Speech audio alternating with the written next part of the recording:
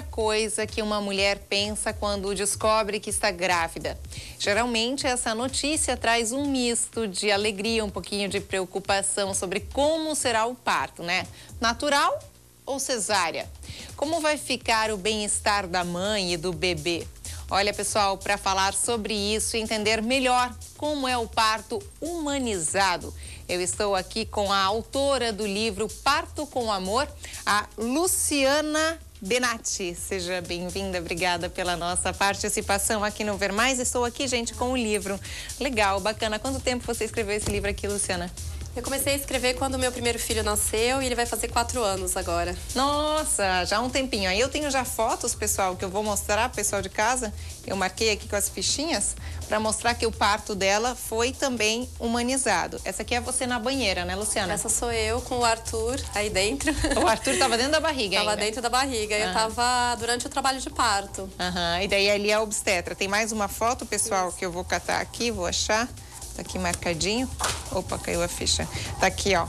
A foto do bebê do Arthur já nascido junto com a mamãe Luciana. Olha que foto linda. E além disso, várias outras fotos ilustradas aqui nesse livro.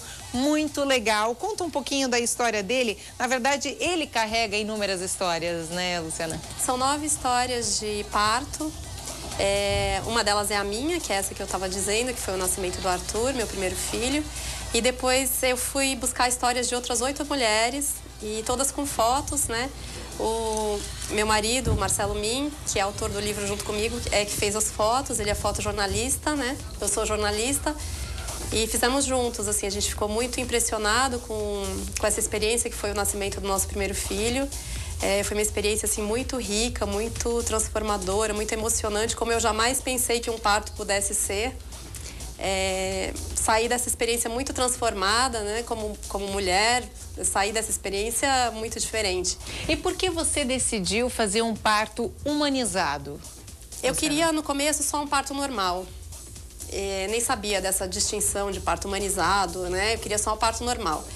Depois, é, pesquisando, fui descobrindo que o parto normal, hoje em dia, como é feito na maioria dos hospitais, ele tem muitas intervenções né, médicas muitas coisas que são feitas para acelerar o parto. Então, ele, na verdade, não segue um ritmo normal. Ele é acelerado com o uso de medicamentos e com algumas intervenções que são feitas. O tempo do parto normal acaba sendo mais curto, mais reduzido. Curto, reduzido. Uhum. E isso traz uma série de consequências, né? Não é, não é uma coisa que eu considere o ideal. Eu queria ter essa experiência de uma forma mais natural mesmo, respeitar o ritmo do meu corpo e o ritmo do bebê na hora do nascimento. Tá, mas que consequência? Tipo assim, primeiro antes, eu acho que de tudo para a gente explicar o pessoal que ainda não entende de direito, né? O que, que é o normal, o que, que é o humanizado, a diferença entre eles é qual? Então, humanizado, é, eu defino como um parto com respeito. Tem que ser dentro da água? Não necessariamente. Acho que é o respeito pela mãe, pelo bebê e pelo ritmo natural do, do parto, porque o parto demora, né?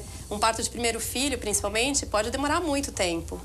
E uma, uma coisa que acontece muito hoje em dia é tentar acelerar esse parto. Uma das coisas que se usa para acelerar é um hormônio que é, é colocado no soro, né, na veia da mulher.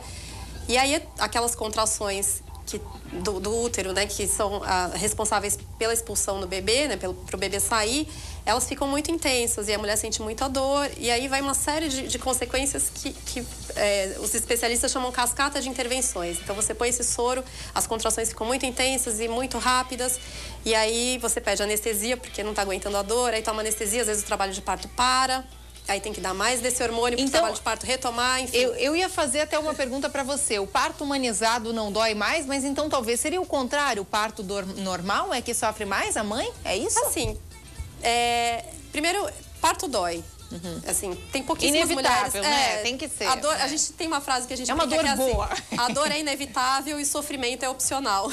Ah, tá. Na verdade, é, essa dor não precisa ser de sofrimento. É uma dor de vida é uma dor que a mulher está preparada para aguentar na maioria dos casos, né? uhum. né? É claro que há casos em que a mulher não consegue lidar com essa dor e aí para isso existe a analgesia, que é a uhum. anestesia, né, uhum. de parto. Mas na maioria dos casos, essa dor vai vindo e ela começa fraquinha e ela vai aumentando aos pouquinhos e dá tempo da gente se acostumando. Tem os uhum. momentos mais intensos. Mas a gente tem que saber que essa dor, assim, primeiro que ela não é uma dor que vem direto e fica. Ela é uma dor que vem em ondas, né? Ela vem fraquinha e vem vindo, vem vindo, vem vindo.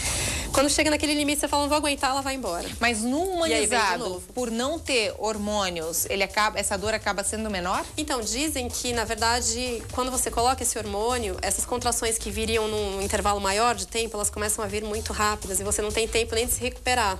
E aquilo começa a ser muito intenso, muito rápido e dói mais. Eu não tomei esse hormônio. E eu consegui lidar com a dor muito bem nos dois partos. E uma coisa que eu pensava é, assim, se as minhas avós aguentaram, né? Minha avó paterna teve 11, a minha avó materna teve 7, todos em casa. Por que, que eu não, não, não, poderia aguentar? No meu primeiro parto eu lembrava muito, eu falava, nossa, a Quanto minha avó tempo? aguentou, eu vou aguentar. Quanto tempo você ficou no primeiro parto? No primeiro e no segundo, a diferença também? Os meus partos foram relativamente rápidos, assim. No primeiro, é, da primeira contraçãozinha lá, mais fraquinha, que foi o primeiro sinal, até nascer foram 24 horas, mas Nisso, com dorzinha fraca, continuei minhas atividades normalmente, continuei o dia, saí, fui caminhar, fui na padaria tomar um café com meu marido, Nossa. voltei. Então, mas de trabalho de parto mesmo, é, depois que as contrações vieram mais fortes, que a bolsa já tinha estourado, né? Aí foi mais ou menos das 8 horas da noite que a bolsa estourou e as contrações vieram para valer. Uhum. Ele nasceu às duas e meia da manhã. Então foi relativamente rápido. Foi rápido. A gente tem algumas fotos aqui, vou ir mostrando o que eu vou achando aqui, tá? Para o pessoal de casa. O livro vem com um objetivo, Luciana, é de quê? De incentivar esse parto humanizado, essa forma natural de ter o filho? É, eu quero que as mulheres se encantem por isso. É, era esse o objetivo, assim, mostrar como é bonito, como é transformador, porque a gente tem uma, uma cultura que, que traz muita imagem negativa de parto, de que é sofrimento, uhum. de que parto é dor, de que parto é medo, é tensão, é uma coisa que é aquele desespero que você tem que correr para o hospital, né, na primeira contração. E não é isso. O parto pode ser uma experiência muito linda, assim. As mulheres que vivem. Pais, isso, amigos, uma galera participa, é, né? É uma festa, né? É uma celebração, é uma criança que está chegando. Uhum. É um é um momento íntimo, familiar. É, e pode ser muito tranquilo e sempre é muito transformador. E algumas celebridades, inclusive, passaram por essa experiência. A gente pode citar aqui como Fernanda Lima, uh, Gisele Bündchen também, né? A Fernanda Lima teve um parto normal de gêmeos, que é muito bacana, e a Gisele Bündchen teve um parto maravilhoso em casa, é, com parteira nos Estados Unidos. E ela deu até uma. Tem uma frase dela no, no livro, aí no final ela deu um, um, uma frasezinha de incentivo para as mulheres é, dizendo que espera que esse livro inspire muitas mulheres, né? Quer dizer, se elas, né, se pessoas tão instruídas optam por esse tipo de parto, eu acho que a gente tem que realmente repensar sobre os nossos conceitos.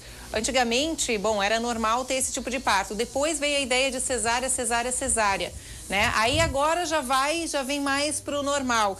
E claro, a gente está colocando aqui também uma forma ainda diferente, uma forma mais natural possível, que seria o parto humanizado. Os relatos aqui do livro que as pessoas colocam, que você coloca justamente esses relatos, só felicidade, né? O pessoal só falando muito bem. Quais são, por exemplo, experiências de famílias aqui?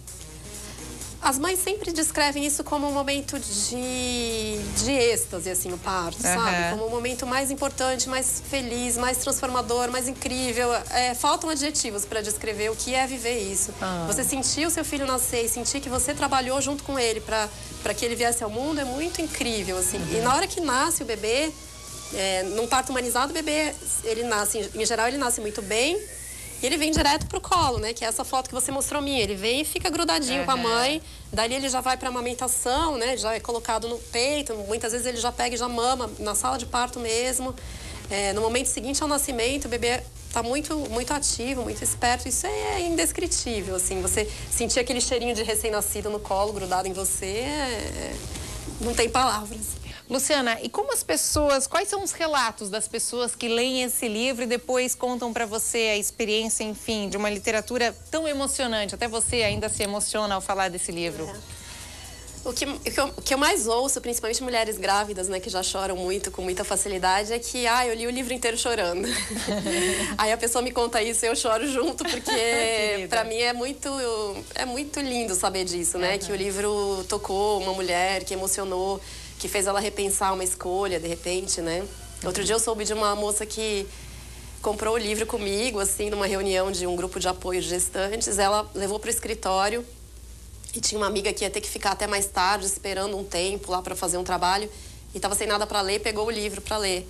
E ela era adepta da cesárea, assim, com hora marcada. E ela ficou lendo até tarde. No dia seguinte, ela falou assim: Olha, mudei de opinião por causa desse livro. Nossa! Se um dia eu engravidar, eu vou ter um parto assim. Quantas pessoas que já. Será que já não mudaram de opinião eh, da mesma forma como ela, né? Por ler o livro. Aí ela falou para mim, gente, uma coisa interessante no intervalo: que realmente, uh, para ela, ela mudou completamente o pensamento. Olha só que interessante essa foto. Sobre a vida. Por que isso? O que, que mudou na sua vida depois de ter um parto humanizado? E o porquê disso?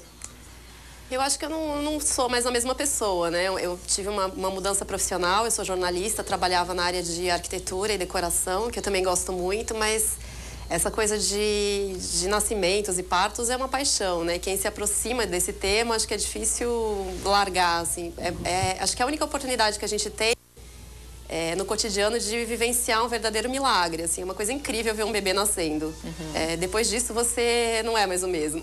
Ai, que gostoso! Papo de mãe, né? Que delícia! Luciana, você é de São Paulo, mas está aqui, claro, na nossa cidade. Vai ter o lançamento desse livro aqui, é isso? Isso, é hoje à noite na Livraria Catarinense. Uhum. Hoje à noite na Livraria Catarinense aqui de Blumenau. Isso. Os contatos, para quem quiser, enfim, quem se interessou por esse livro.